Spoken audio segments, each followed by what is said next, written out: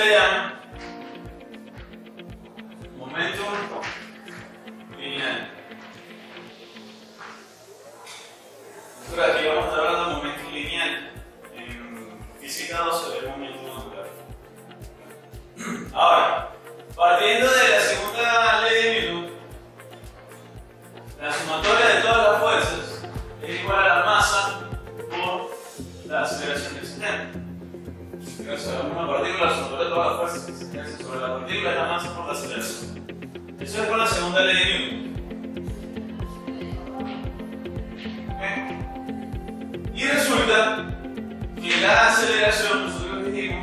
en que era el cambio de la velocidad en del tiempo, la derivada de la velocidad.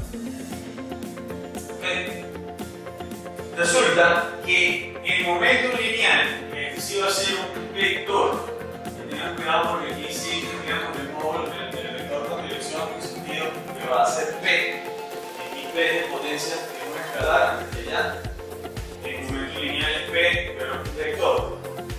El momento lineal se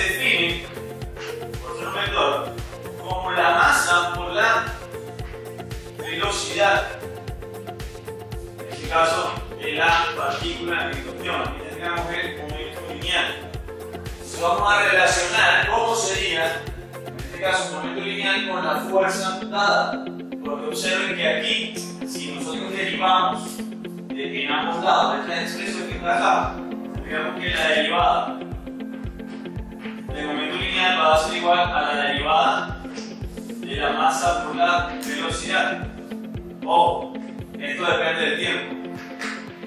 Esto también depende del tiempo. Por lo tanto, va a ser la derivada del momento lineal en función del tiempo y esta derivada también va a ser en función del tiempo.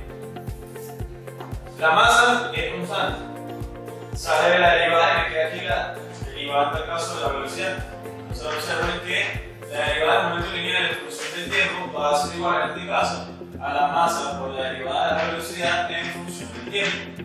De ahí que tenemos esto que está aquí, esto que está aquí, es mi aceleración.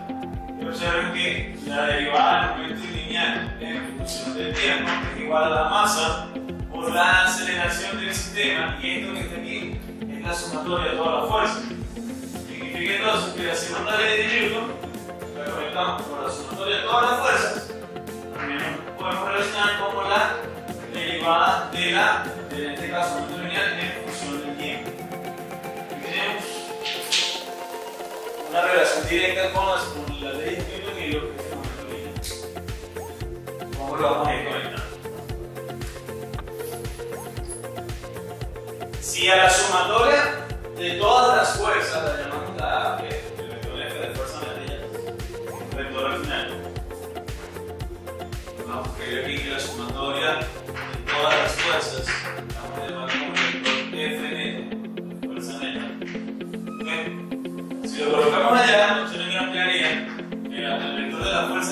va a ser igual al diferencial de el momento lineal en función del tiempo. Pasando este panita para acá multiplicando, nos quedaría, igualando los momentos, el diferencial de el momento lineal va a ser igual a la fuerza por el diferencial del tiempo. Si aplicamos integral de ambos lados, nos quedaría que la integral para este pan, por ser diferencial del momento lineal, tendríamos aquí un inicial y un momento final. Eso va a ser igual, aquí integramos en función del tiempo, un tiempo inicial y un tiempo final, y esto va a ser la fuerza por el diferencial del tiempo. Resulta que a esto que está aquí, que se llama el impulso.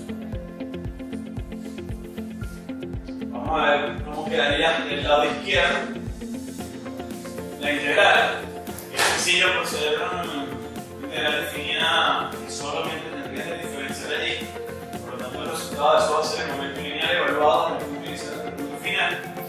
Eso va a ser el momento lineal evaluado desde el punto inicial hasta el punto final. Y esto va a ser igual entonces a la integral en un tiempo dado desde este punto de la fuerza por el diferencial del tiempo. Aquí nos queda en el, digamos, momento lineal final al momento lineal inicial, nos queda la variación del momento lineal. Ya vamos a conectar con impulso. Y va a ser igual a ese integral. El final de la fuerza por el desplazamiento es lo que se le llama el impulso. Ahora, vamos qué significa eso de Que cuando tú estás jugando básquet, por ejemplo, y haces y rebotas la pelota, tienes a una altura y le generas una rapidez hacia abajo. Cuando la pelota va llegando al piso, ella en un instante antes de llegar al piso tiene una rapidez que apunta en un sentido específico, en velocidad, pero cuando rebota, hay algo como un instante de tiempo súper pequeño que hace que cambie totalmente su velocidad. Entonces, viene la pelota, rebotó y va hacia arriba. En ese instante de tiempo muy pequeño, el piso genera un impulso sobre la pelota. Y el impulso, por eso, es, en ese caso, la integral de la fuerza en función del tiempo. Si tú tienes una gráfica, de hecho, de la fuerza en función del tiempo, por ser la integral, el área que está debajo de la curva, que sería la fuerza bajo la curva, al final va a ser el impulso. Ahora, si lo quisiera relacionar con una especie de. Una especie de no, si lo quisiera relacionar con una gráfica, tendría que el impulso va a ser el área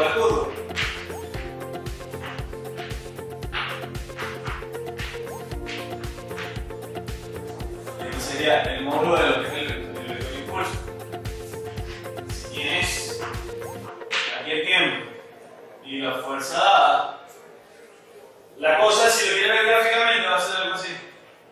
En un instante de tiempo muy pequeño,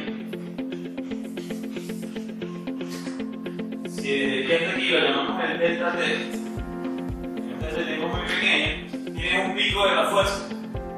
Y ese pico al final va a ser el impulso que genera, podemos llamarlo, que es la mesa el piso con el balón. ¿Okay?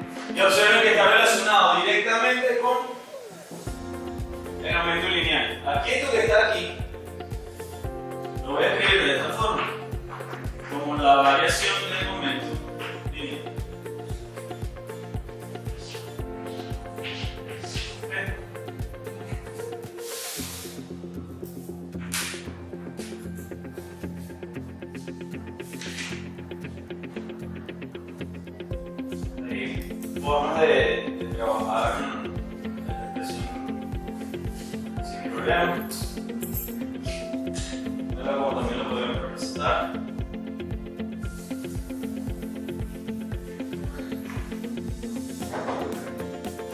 El impulso, si es la variación del momento lineal, que es el momento final, puede decirse que es la masa por el vector velocidad final, menos la masa por el vector velocidad inicial. El impulso se puede decir que al final va a ser la masa por la diferencia en este caso de los vectores de velocidad final y velocidad inicial. Las unidades de impulso. ¿Cuál sería la unidad de impulso en este caso?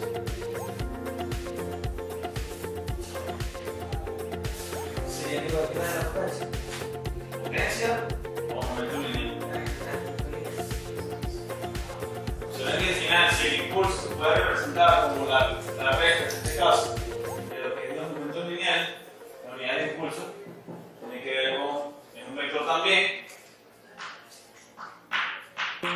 y sus unidades serían iguales a las unidades de momento lineal dijimos que era masa por velocidad.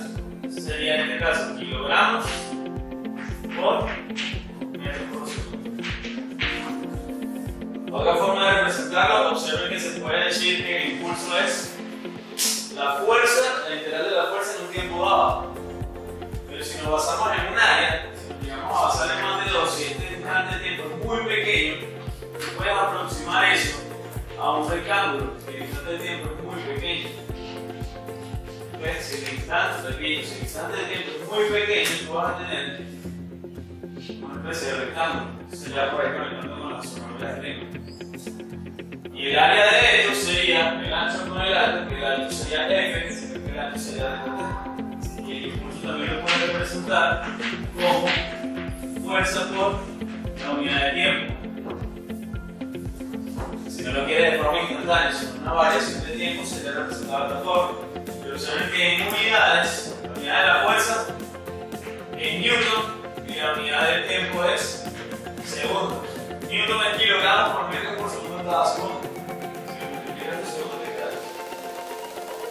De aquí son maneras distintas de colocar las unidades de impulso. Vamos a hacer un ejercicio con todo eso.